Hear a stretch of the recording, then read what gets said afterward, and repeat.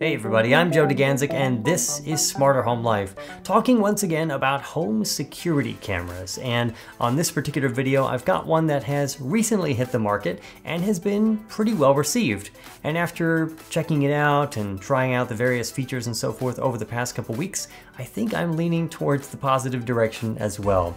And I'm talking about none other than the Lighthouse AI home security camera.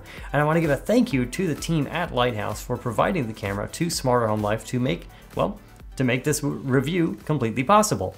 Now, unlike its name, it doesn't actually have a big bright light to let ships know where the coastline is, but it does have a simple, understated design and a lot of technology inside.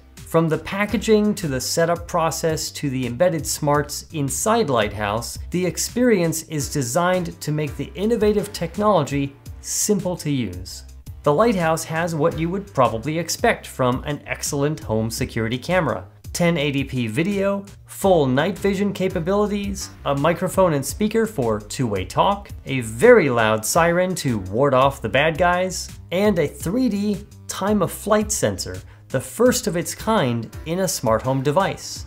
So you're probably wondering, what is a 3D time of flight sensor? Well, suffice it to say, without going to the Wikipedia definition, it is an advanced 3D sensor, and the guys who could probably explain it best are the ones who founded Lighthouse in the first place. Before then, they were working on, you know, small projects like self-driving cars and computer vision, so they know a thing or two about building a system into a camera using both the video side from the camera and also the, the special 3D sensor to do things like facial recognition, but also recognizing people, adults versus kids, and even your pets. Let's go to the main tab. This is just the settings tab, really, really simple stuff. The main tab, once you have it set up, you go through that simple setup process. You get your live view. You can get this uh, on basically, you know, the uh, good old um, portrait mode or in uh, landscape mode. I can flip this around so you get a nice color image. You see all kinds of things are stacked up in the messiness of, uh, of running a, um, a video studio in a tiny home. You can activate the siren, which is really loud. I'm not going to turn it on right now. You've got two-way talk capabilities. You've got the camera on and off. And scrolling down through this main page, you'll also see that I'm home, again, based on geolocation. Someone else is not home. And I can get a daily recap. It's also seen a face in the past little while. It's late at night. And uh, also it saw something a little while ago. Perhaps it wasn't quite sure what it was, but it's just letting me know that something was found. And these are some pings that I've set up. These are ways to get alerts um, that uh, based on activity and things. We'll go over that here in a moment. So I'm gonna skip past the people tab and go right to events so we can kind of talk about this a little bit. This is your rolling history of what's been going on. Obviously I've left, I've arrived. I do that, you know, at least once a day. And that's based on geolocation. And you see that here's an alert, a big exclamation point. Hey, this is, this is something, this, this fired, this something happened here. Didn't see people between 5 a.m. and 8 a.m. Monday through Friday. Now, this was initially a test to kind of just check my own schedule. I'm a late, uh, I'm a, a, night owl, and I'm usually not up super early in the morning. Even at like 8 o'clock, I might be awake, but not really actually ready to go. So apparently, I don't actually uh, get out of bed that early. I can scroll down the list and get some more interesting things other than this particular alert that I had set up for myself, kind of as a test. Pets, I don't have any pets, so we'll have to figure out that. Um, Person-related activity while all invited users are away. What is up with that? Well, let's go in here. I should get a video of said event. Okay, well there's some guy in the place. That's not good. Oh, there's a go live button. So I could if this was actually happening and I had gotten an alert, I could go live and actually figure out what was actually happening here. And then I could perhaps do something if it was an actual burglar or something going wrong here. I could actually sound the siren and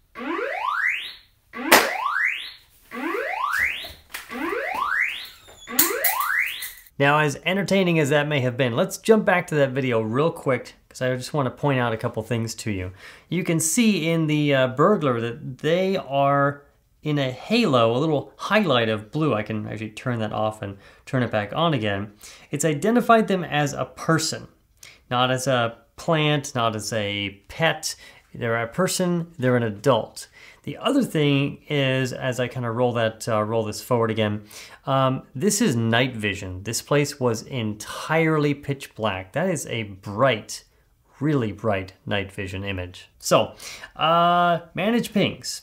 These are a couple that I have set up, some of them for testing purposes, some of them just to try things out, and uh, by no means an exhaustive list. In fact, there is no exact precise list of what you can and cannot ask the uh, Lighthouse system.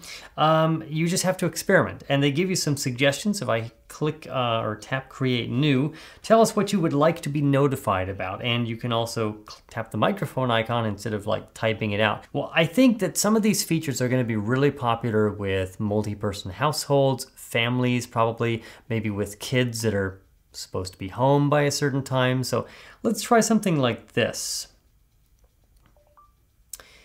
Tell me if you don't see the kids by 3 p.m. on Tuesdays. And here it is, so got it. Notifying you if we don't see children between 12 and 3 p.m. on Tuesdays. So it literally figured all that out and added a couple of hours thinking that, okay, if the kids are supposed to be home at 3 o'clock on Tuesdays, and it, and it made a time window of between noon and 3. So if it doesn't see any children during that time period, it's going to send an alert. If it, if, which means basically means that they didn't come home on time. So I'll tap confirm. It's there, the notification is on, it's done. But let's go to the Ask tab. So this is the, the other powerful feature where it says search 30 days of video. You get 30 days of rolling storage. I'll go into more about that in a little bit later. Give me a recap of July 19th and it brought up a video. Now this is a recap of the entire day that I wasn't here, and I'm doing this for a certain reason. I'm just going to let it roll forward. Um, it's basically fast forwarding through the entire day. I wasn't here. The camera was on simply because of my geolocation, uh, the privacy settings. And the beauty of it is I didn't get any false positives. As I had previously mentioned about the 3D sensing technology in Lighthouse that it can easily distinguish between adults and children and also pets, specifically cats and dogs.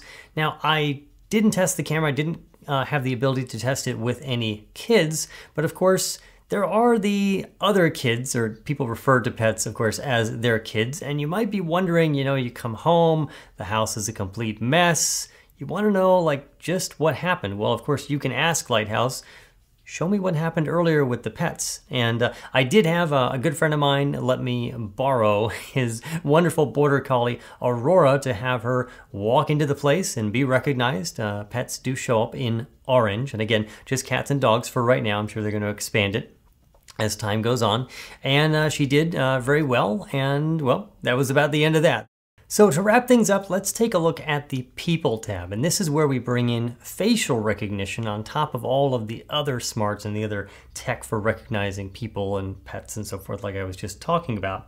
So this is where you can invite people, whether they are members of your home or they're just people who occasionally come over. Think about, you know, the delivery guy, babysitters, pet sitters, people who are coming over, they should be recognized in the system so that they don't set off a false alarm, but they should have no other access than just having an account and being recognized. I asked my friend Murph to basically come over and play a friendly neighbor who would have had access to my home with my smart lock.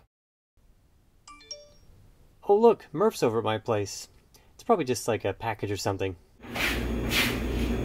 Hey Joe.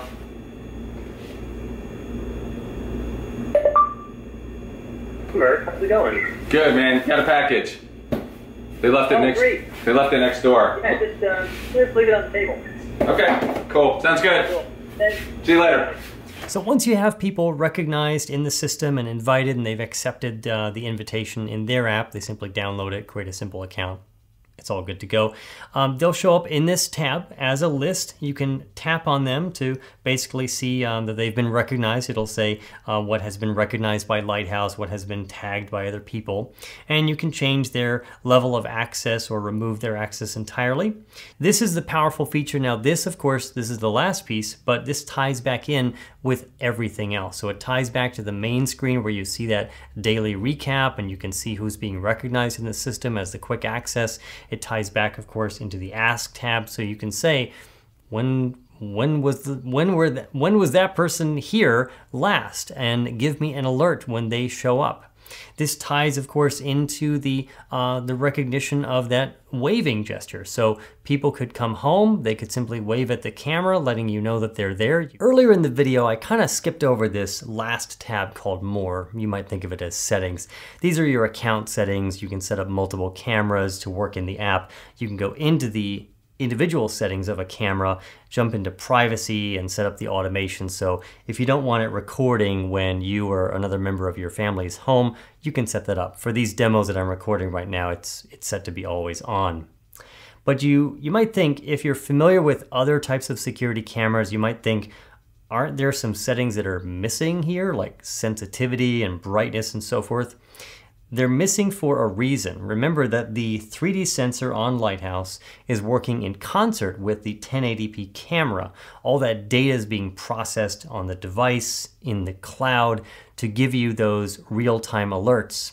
And to borrow a phrase, it just works. Well, it just works. You set up the camera, you link it to your Wi-Fi, set up the uh, set up the account, set up some pings, let it do its thing, and then start asking it some questions. There are no other settings to play with. And for Lighthouse to have been able to achieve putting all this high tech stuff into this smart home device and then hiding it and creating a wonderful app experience is is really fantastic. But you might have noticed in a couple of the video clips that some things were misidentified. So you think, well, is it really performing as expected?